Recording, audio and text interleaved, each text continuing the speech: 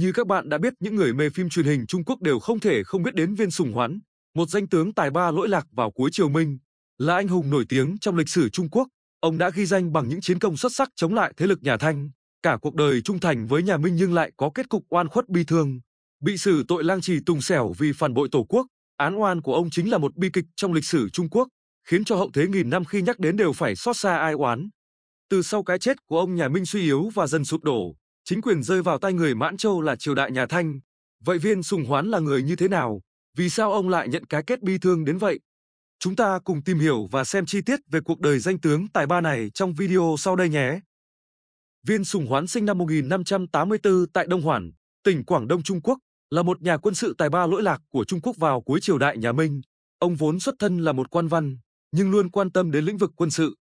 Do đó ông đã hiểu rõ và nắm bắt chặt tình hình ngoài biên cương lúc đó. Năm 1619, Nội Nhĩ Cáp Xích thủ lĩnh bộ tộc người nữ chân thống nhất tất cả các bộ lạc và lên ngôi đại hã lập nên nhà Hậu Kim và lấy tên dòng họ là Ái Tân Giác La.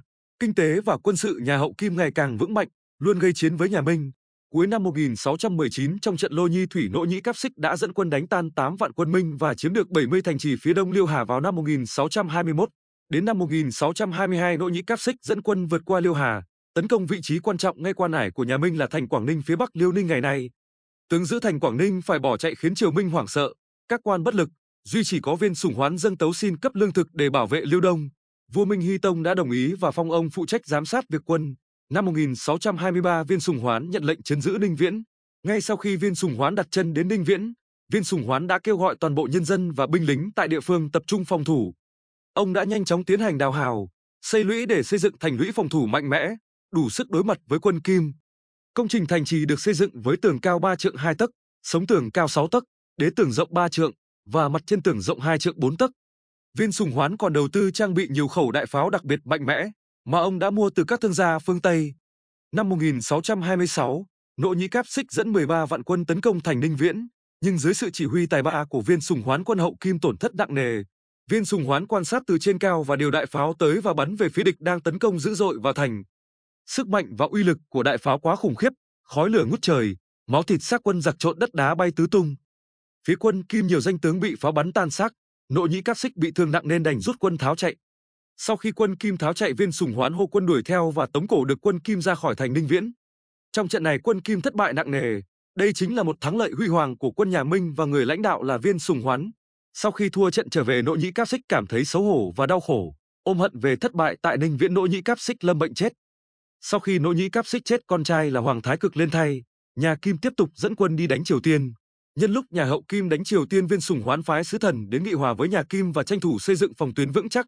Trong triều bọn hoạn quan và đồng đảng lại dèm pha về chiến thắng tại Ninh Viễn của viên sủng hoán về việc ông chủ động hòa. Với quân Kim do đó ông phải dâng sớ giải trình với triều đình thì sự việc tạm lắng xuống.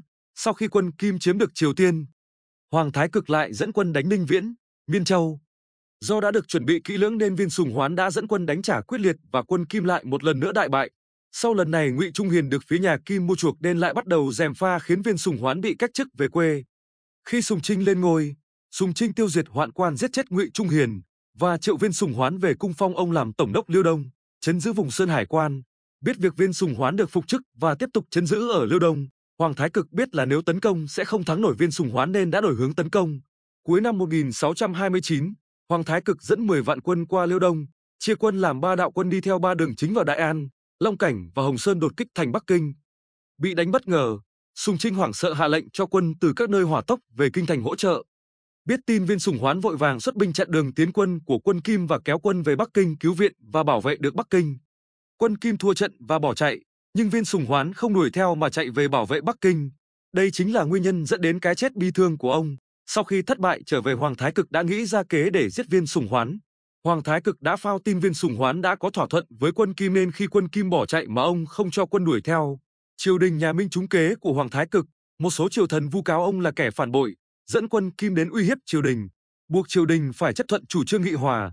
Một số người thì vu cáo ông dẫn quân Kim về đánh Bắc Kinh. Bọn chúng liên tiếp dâng sớ vu cáo viên sùng hoán cấu kết với giặc giết tướng Mao Văn Long để lấy lòng nhà Kim và đề nghị triều đình xử tử ông. Sùng Trinh tin là thật lệnh bắt giam viên Sùng Hoán. Nửa năm sau viên Sùng Hoán bị đưa ra xét xử với tội danh tư thông với giặc, bằng chứng đã kết luận là quân Kim tự rút lui chứ không phải bị viên Sùng Hoán đánh bại.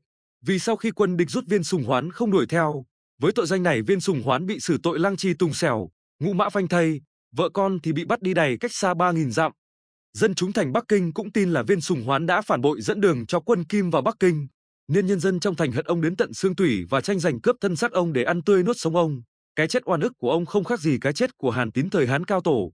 Sau khi Viên Sùng Hoán bị hại chết, một thuộc hạ trung thành của ông đã thu thập thân xác ông và chôn ở một nơi bí mật và dặn dò con cháu nhiều đời sau không được làm quan, phải thay tên đổi họ để thờ phụng vị tướng quân này.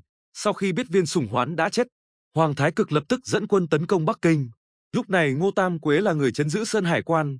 Ngô Tam Quế không phải là đối thủ của Hoàng Thái Cực và cũng không thể so sánh được với tài năng quân sự của Viên Sùng Hoán. Ngô Tam Quế đã mở cổng thành cho người Mãn Châu. Hoàng Thái Cực tiến vào Bắc Kinh. Lúc này tại Bắc Kinh Lý Tự Thành đánh chiếm được Bắc Kinh.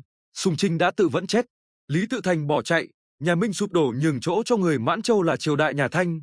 Đến đời vua Càn Long con cháu nhiều đời sau của Hoàng Thái Cực đã phục hồi danh dự cho Viên Sùng Hoán. Và từ đó ngôi mộ của Viên Sùng Hoán được công khai và đến nay đã được chính phủ Trung Quốc công nhận ngôi mộ là di tích lịch sử.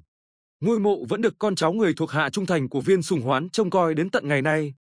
Cảm ơn quý vị đã xem video và ủng hộ cho kênh chúng tôi.